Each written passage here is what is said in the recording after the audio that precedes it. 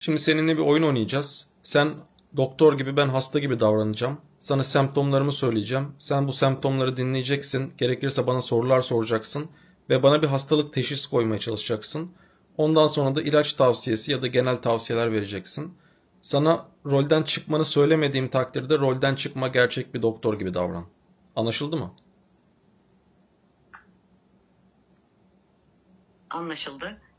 Ben bir doktor gibi davranacağım. Semptomlarını bana söyleyebilirsin. Seni dinlemeye hazırım. Hangi şikayetlerin var? Şimdi ben 3 hafta önce falan bir hasta oldum. Ee, çok fazla ateşim vardı, yorgunluğum vardı, burnum tıkalıydı, eklem yerlerimde ağrı vardı. Zamanla iyiye gittim ama hala her gün hafif bir ateş ve yorgunluk yaşıyorum. Bu neredeyse 3-4 haftadır hiç geçmedi. Ve burnum tıkalı.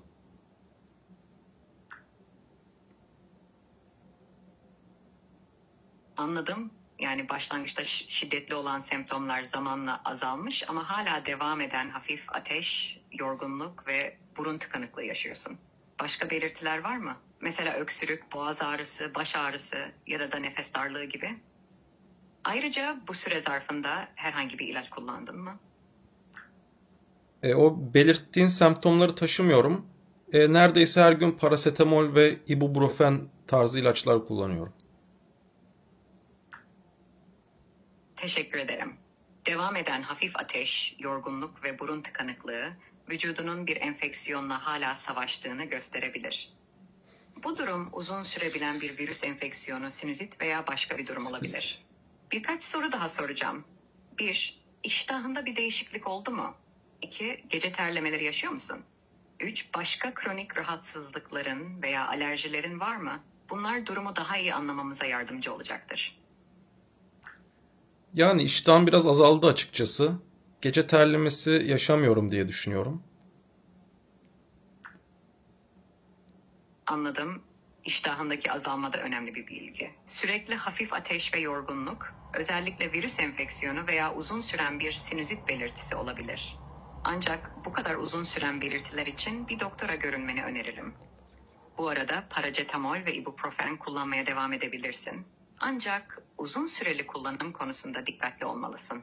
İşte genel tavsiyeler. 1. Bol su iç. Vücudunun nemli kalması iyileşmeyi hızlandırabilir. 2. İyi dinlen.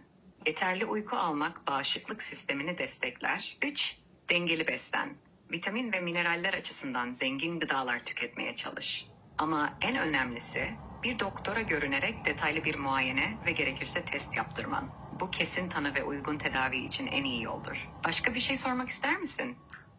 Şimdi benim bu sinüzit için antibiyotik kullanmam gerekmez mi ama 4 haftadır falan neredeyse sürüyor semptomlarım.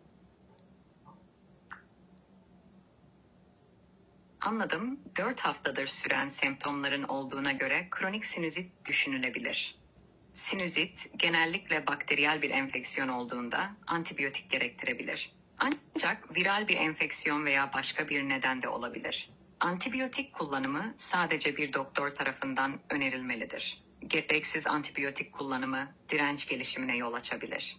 Dolayısıyla bir doktora başvurarak doğru teşhis ve uygun tedavi planı yapılması önemlidir. Bu semptomlarının nedenini belirlemek ve gerekli tedaviyi sağlamak için en iyi yöntemdir. Başka bir sorunuz var mı? Tamam sen şu an doktor gibi rol yapıyorsun ya o yüzden doktor gibi cevap vermen lazım bana. Şimdi benim bu sinüzitim için antibiyotik tavsiye eder misin? Anladım. Bir doktor olarak tavsiyem şu olurdu. 4 haftadır süren semptomlar kronik sinüzit belirtisi olabilir. Ancak antibiyotik tedavisine başlamadan önce kesin bir teşhis koymak önemlidir. Çünkü sinüzitin nedeni bakteriyel değil, viral ya da alerjik de olabilir ve bu durumlarda antibiyotikler etkili olmaz. Dolayısıyla önce bir doktora gidip muayene olmanı, gerekirse bir burun ve sinüs tomografisi çektirmeni öneririm. Doktorun bakteriyel bir enfeksiyon tespit ederse uygun bir antibiyotik reçete edecektir.